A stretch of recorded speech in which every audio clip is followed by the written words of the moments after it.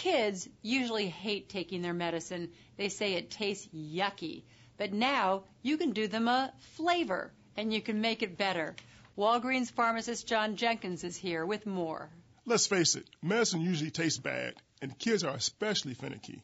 That's why we've added an FDA approved flavoring to selected liquid medications. It makes it a breeze to get children to take their needed doses. That sounds like a great idea. So, how does it work? All you have to do is order the flavoring when you order the medication from your pharmacist. It works with any iron liquid, liquid vitamins, and a wide variety of other medicines that treat colds, allergies, and infections. We'll work with you to make sure the flavoring is approved for what will be taken and that it's right for your child. So, what about us adults, John? Well, Joan, if it gets you taking medicine, yes, we can offer it to adults too. All right, thanks a lot, John. My pleasure, Joan.